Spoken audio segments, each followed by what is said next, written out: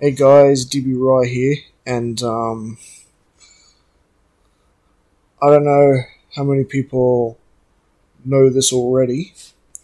Um, I only just found out today myself, so news is still hitting me. And that is that the creator of Dragon Ball, Akira Toriyama, has passed away. So before I get into this video, let's have a quick moment of silence for Akira Toriyama.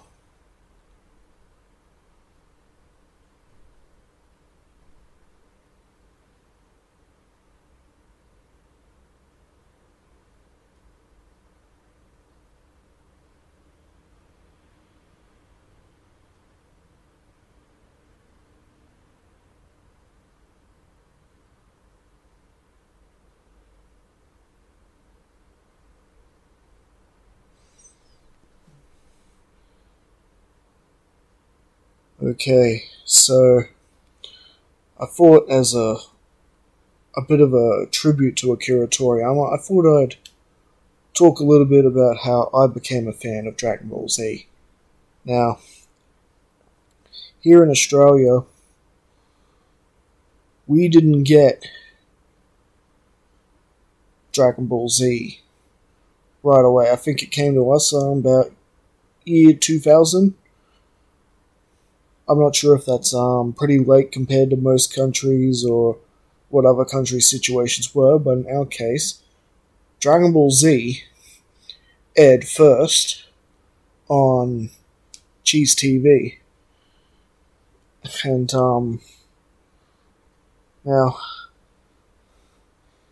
I had heard about the show previously from um, trailers I've, I've seen at friends' houses who had Cartoon Network had the old Dragon Ball Z trailer, and so yeah, I thought, yeah, this would be something I'd like that I'd like to watch. However, me not having Foxtel myself, I never could watch it. And then I heard it was being aired on Cheez TV. I went to school one day and all the bo- boys were talking about Dragon Ball Z. Hey, have you seen this Dragon Ball Z cartoon? Did you watch Dragon Ball Z today? Well, Ryan, did you watch Dragon Ball Z today? And that's how I found out it was on Cheez TV, so I started st- staying home and watch watching it. I didn't care if I showed up to school late because I really wanted to watch the show, see what it was all about, and I was hooked. You know, um, it was a martial arts show. Um, they shot beams out of their hands and blew stuff up. You know, what's not what's not to like as a kid? And it was a space opera. So, yeah, pretty much hit all the things that I call a good show. So, yeah, it didn't take me long to become a fan, and well, when I got when I got older and I had myself a job, the first thing I did was collect um, the whole the whole series on DVD, inc- including the original Dragon Ball series as well. Which, even though I didn't see see that first, Dragon Ball, I still became a huge fan of the original manga as well. Dra- Dragon Ball which is all about Goku growing up and where Piccolo and all the others came from, which was I thought was pretty cool. And what could I say? I really liked Piccolo as a bad guy. Um,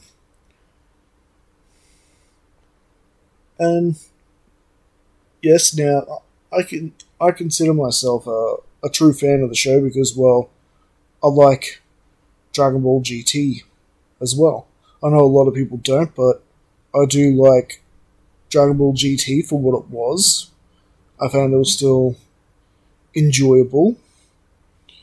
And, um, yeah, it was an okay continuation of Dragon Ball Z at the time. I'll admit it's not as good as Dragon Ball Z was, but it's still up there. I'm still a fan of Dragon Ball GT. But of course, I do like the Dragon Ball Super and the direction that's been taking. So, in short, um, you know, I'd, I honestly think my life would probably be in a darker place if there wasn't any Dragon Ball in the world, so I will personally thank Akira Toriyama for that, for bringing me that show.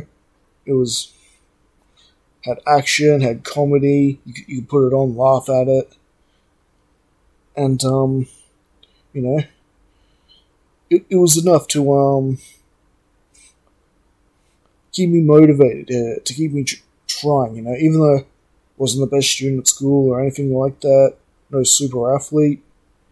Basically, what characters like Goku and Vegeta represented was you, you get back up, you, you keep going, and I think that's the um, most important part of Dragon Ball. The, the positive me- messages in the series. So, thank you for joining me for this quick video, and um, you know, I I can't ima- imagine what um, Akira Toriyama's family is going through. And well, the best we can do as um as his fans is um keep the spirit of Dragon Ball alive. All right. Thank you again. Thank you guys for joining me, and I'll see you guys again for the next video.